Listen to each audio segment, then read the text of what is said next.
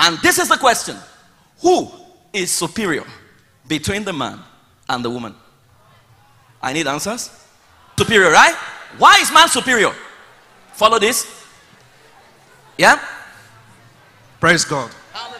Not that in a literal meaning that man. Hello.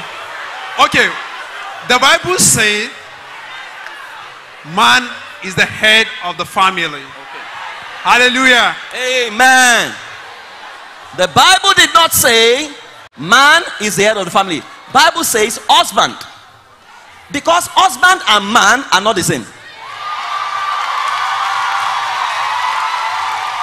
And so the Bible did not say let us make male. Because you're assuming the man is male. Because if it were let us make male in our image, the next verse would have been let him have dominion. He said, let them. Singular cannot become plural if man is not.